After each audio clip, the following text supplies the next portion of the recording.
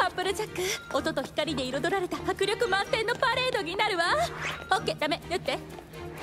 素敵完璧。ゾッとする。いいわほら急いで。もうとっくに終わってるはずよ。この仕事に向いてるんだね。なんか手伝えることある？いいライブにして。ちょっと待ってちょうだい。まさか着ぐるみにコンシールファスナーをつけてないわよね。コンシールファスナーなんかつけたら引っかかるに決まってるじゃないこんなことばっかり。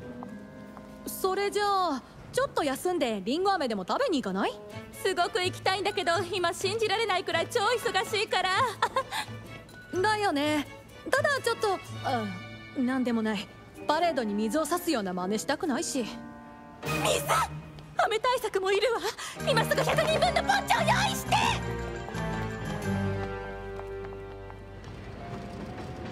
あんた偉いよ。分かってる？真正面から恐怖に立ち向かってさ。僕も子供の頃からそうしてる。見てみな。120m の高さから真っ逆さまに落ちて輪をぐるぐる回るんだ。きっと相当ドキドキしてるよね。まさか逆向きで落ちたりしないよね。あー気分はどう？フラターシャこんなに高くて大丈夫なの？止めてって思ってるんじゃない？下ろんたの気持ちだろだよね叫んじゃいそうはい今すぐ食べた冗談抜きでお願い誰か今すぐ食べたお願い食べた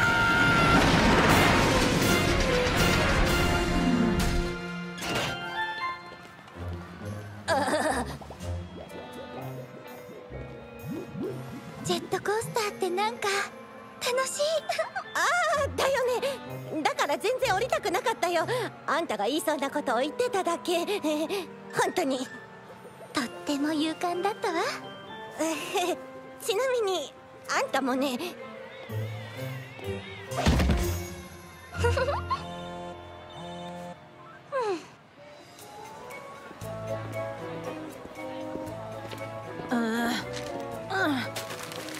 リンゴ飴リンゴ飴はいかがですか？赤リンゴ青リンゴ他にもいろんな色がありますよ。ミクロチップス？誰だっけ？あアップルジャックだよ。あんたが雇われたの？このリンゴ飴ガールズの。お店に？ビニエッタはかっこいいオタクを探してた。で僕を採用。やるだろう。あれ？うあああおもしかしてナイフか刀か小さいけれど切れ味抜群の爪切りとか持ってないよね。こう思ってるんでしょ？ああビニエッタ。パレードにそんな素敵なアイデアを出してくれて感謝感激だわって。よくわからないんだけど私に今夜別人みたいになれって言ってるの？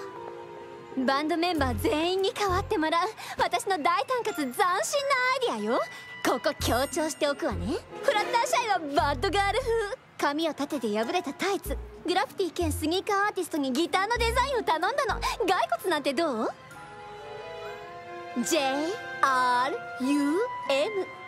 そうねえっと私は全然興味ない。